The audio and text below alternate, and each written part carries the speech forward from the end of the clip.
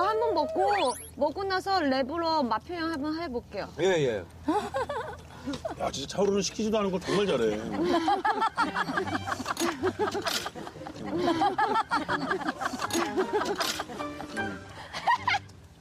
요, 요. 요, 요, check it out. 이런 미친 맛, 미친 맛, 미친 맛, 미친 맛. 왕우로 진짜 맛있어. 왕우로 진짜 미친 맛, 미친 맛. 죄송합니다. 아, 이거 저런